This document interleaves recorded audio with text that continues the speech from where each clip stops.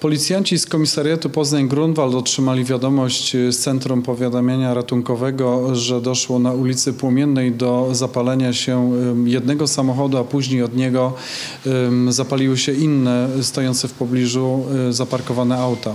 E, Tam na miejscu zostały przeprowadzone oględziny, również przesłuchaliśmy właścicieli.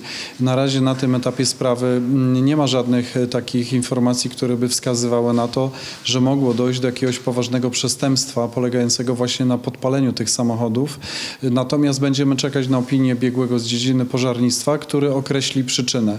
Wszystkie czynności, wszystkie działania, które wykonaliśmy są odpowiednio udokumentowane, tak więc niezależnie od e, tego, co mówią właściciele, e, prowadzimy te działania pod kątem e, właśnie takim, by w sytuacji, jeśli otrzymamy od biegłego informację, opinię, że było to podpalenie, żeby mieć jak najwięcej materiałów, które pozwoliłyby nam w przyszłości zidentyfikować sprawcę tego podpalenia. Gdyby tak się wszystko okazało. Na miejsce zostały skierowane jednostki Straży Pożarnej, które szybko ugasiły te samochody. Straty niestety są dość znaczące, ponieważ mm, spłonęły mm, czy uległy poprzez ten pożar e, uszkodzeniu trzy samochody, e, ale na szczęście nikomu nic się nie stało.